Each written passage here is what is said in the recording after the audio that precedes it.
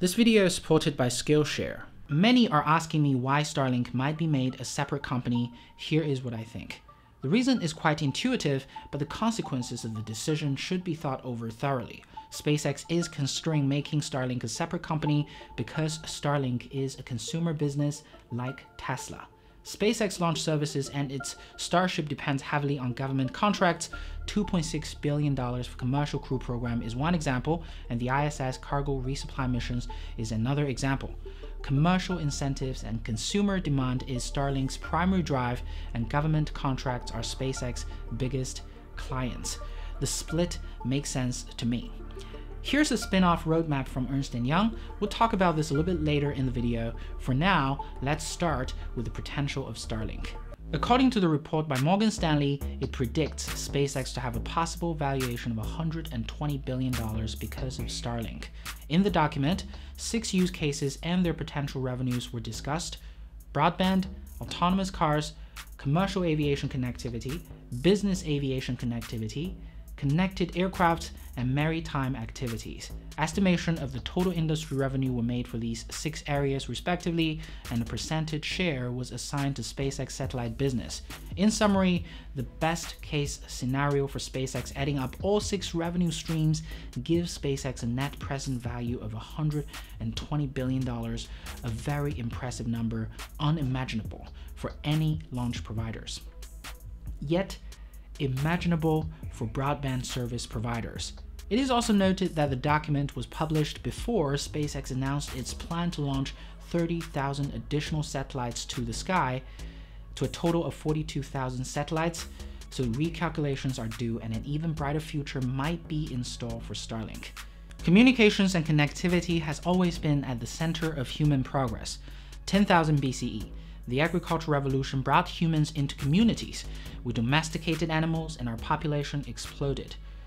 221 BCE, Qin dynasty of China became the world's first modern state, unifying 30 million people, roughly 15% of the world's population. 400 years ago, discovery of North America finally brought all of the world together, and only 200 years ago, electricity was invented and brought us even closer. Computer evolution is distinctive. On top of the unprecedented connectivity, it democratized media which enabled people like me to speak to you directly. Communications infrastructure is at the very foundation of this, and Starlink is trying to start a revolution from the very bottom. Here's what's great about Starlink becoming a spin-off in one sentence. It helps SpaceX streamline its incentives. For launch services that are mostly B2B or B2G, keep it that way and continue to develop industry relationships. But for Starlink that sells to consumers, it could be more aggressive in expansion. Then what about Starlink going public? How would this change things? Well, when Iridium went bankrupt in 2000s, it has spent $5 billion on making and sending 88 satellites to orbit, but the subscription count was only 55,000, not even enough to cover one single launch. Yet when Iridium managed its comeback with SpaceX launches, with 75 total satellites in orbit, Iridium is now worth $3.7 billion. For Starlink, with just four launches so far, SpaceX is already the biggest satellite owner in the world with 240 Starlink satellites orbiting in four different planes 550 kilometers away from Earth. With its launch capability, SpaceX is a clear winner in the market with no apparent competitors unless the Chinese catch up quickly in the coming years. But before that happens, Starlink has no competition in the satellite market, out to dominate it first, and then the communications market second.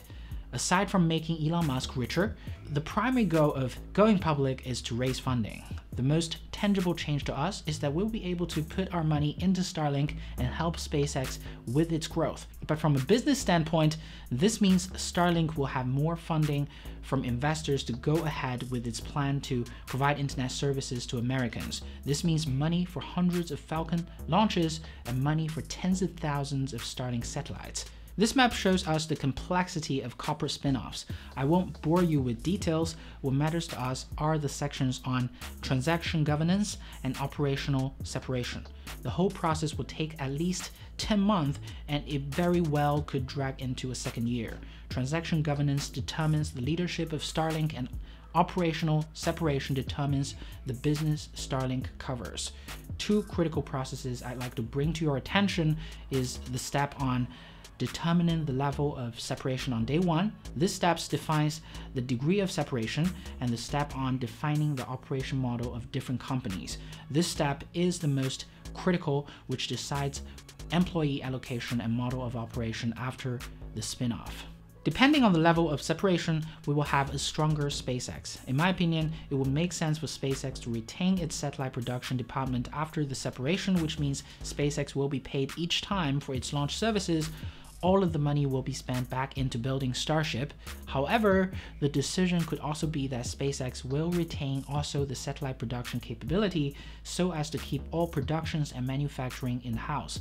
Right now, Starlink satellite production and R&D is in Redmond, Washington, and rocket production is in, is in California, so both structures are possible.